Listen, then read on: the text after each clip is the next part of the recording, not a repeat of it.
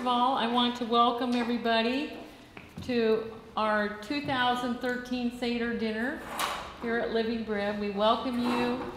We honor the Lord by doing the feasts and the festivals, just as we honor the Lord by doing Shabbat. So I'm going to explain a little bit about the Seder plate. You know, some of the Christians have never seen a Seder plate.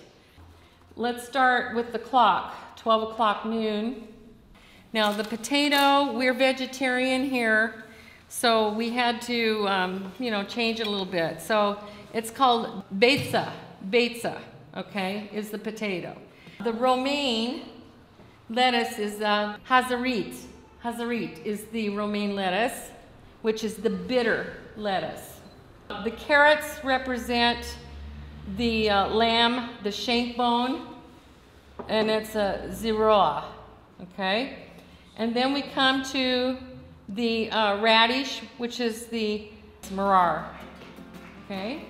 And then we come to the uh, charoset.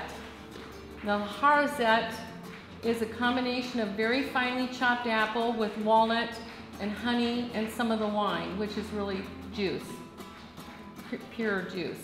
Okay, and then we come to the celery, and that's called the karpas. Karpaz.